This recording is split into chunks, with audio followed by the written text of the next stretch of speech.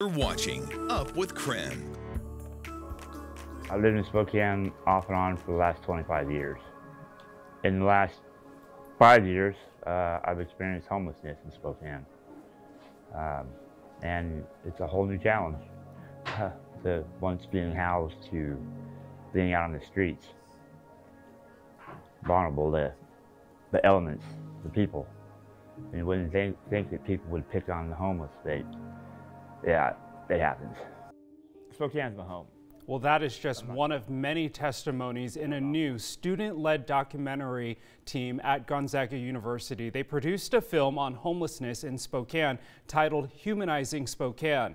Now, their goal is to create a movement to raise community awareness and to advocate for housing and an end to homelessness in our community. Now, this morning, Michael Larson, who helped create the film, is joining us on air. Good morning, Michael. I want to jump right in. So tell us about what made you want to create this project and what you're hoping people will learn or take away from seeing Humanizing Spokane.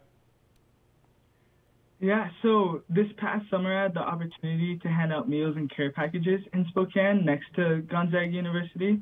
And over and over again, as every time I would go out, I would just hear people's stories and and hear how each person's story is so different and and how they ended up on the streets.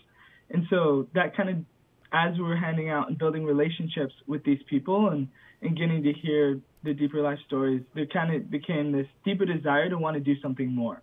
And use our voice as Gonzaga students to uplift some of those stories and just get people to, to care more deeply about people experiencing homelessness and kind of get rid of the biases and stereotypes around this population because there's a lot of negative stereotypes that kind of criminalize and, and, and shed negative light on the homeless people in Spokane. And so I think it was just this desire of how can we do something more, but also raise awareness on the deeper systemic factors that are driving homelessness and the, the housing crisis currently that we're going through in Spokane. And so that was kind of where it started. Talk about some of the stories. You know, I think these are our neighbors, and uh, they, everyone has their own unique story. As you were gathering elements for your documentary, what's something that really stood out to you?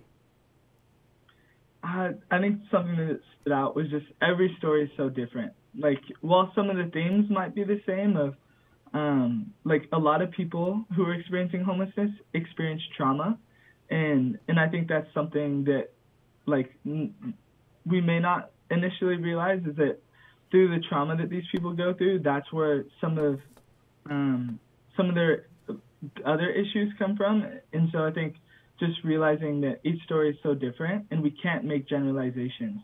Um, and just allowing people to tell their stories themselves is so important. Absolutely. You know, and I, this is a very uh, tough topic to talk about, but what I think is so great about your title is it's humanizing Spokane, and it, that Spokane element, it just kind of, it just brings us together because it's local. This is happening in our own backyard. So I want to ask you, what do you hope people in Spokane, when they watch this, what do you hope they take away from it? Yeah, I think the biggest thing is just realizing that yeah, the, the big thing is that everybody's story is so different and and not making generalizations about people experiencing homelessness, but I hope that people will care more deeply and, and want to get involved. Because this is an issue where all of us, we, through the Humanizing Spokane sort of movement that we've created at Gonzaga, we want people to get involved and, and help create long term solutions in the city of Spokane. And so what we're doing is we have created this documentary that you can watch on either YouTube or on our website, humanizingspokane.com. And then we're also hosting a march in downtown Spokane on April 24th. And if you want to get involved, that will be a tangible way that we can help as a community push for long term change in the city. Well, Michael, you and your fellow classmates are making a great difference in our community. Great to see young people stepping up as well in our city. All right, you can also text the word documentary to 509 448 2000, and we'll send you a link to that documentary. We're going to take a quick break. More Up with KREM right after this.